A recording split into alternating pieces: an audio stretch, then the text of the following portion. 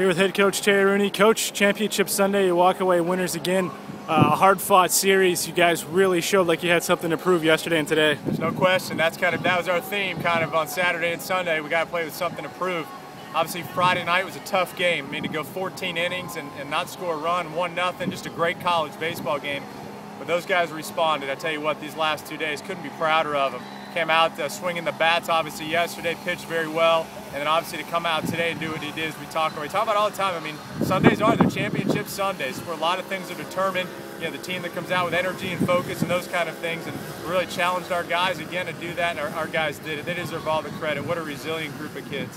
In front of a great crowd, you know, you can't ask for, for a much better crowd than Conference USA baseball here, and for your team to respond like that in this environment. Well, there's no question. Look, Southern Miss is a great team and a great program a tremendous amount of respect for, for, for their kids and, and for those coaches uh, who I know very well. And it's a great atmosphere. I mean, it's a tough atmosphere as an opponent to come into, but it's a great atmosphere. It's great college baseball fans, uh, so it's a great atmosphere to play in front of, and it's a tough atmosphere. And our guys did a very good job of responding back this weekend.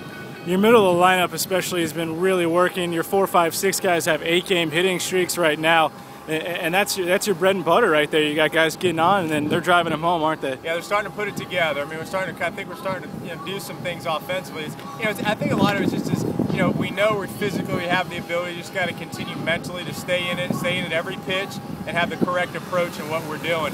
You know, I felt like uh, on Friday our approach, you know, their guy was very good. Our approach wasn't tremendous, and we battled back and made an adjustment on Saturday and Sunday. And you're right, our kids did a good job.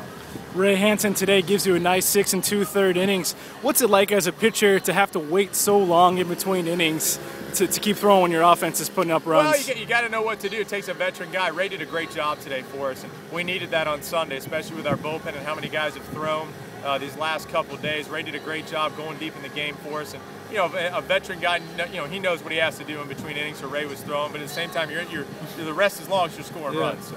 Definitely. Well, best of luck the rest of the way, Coach. Thanks.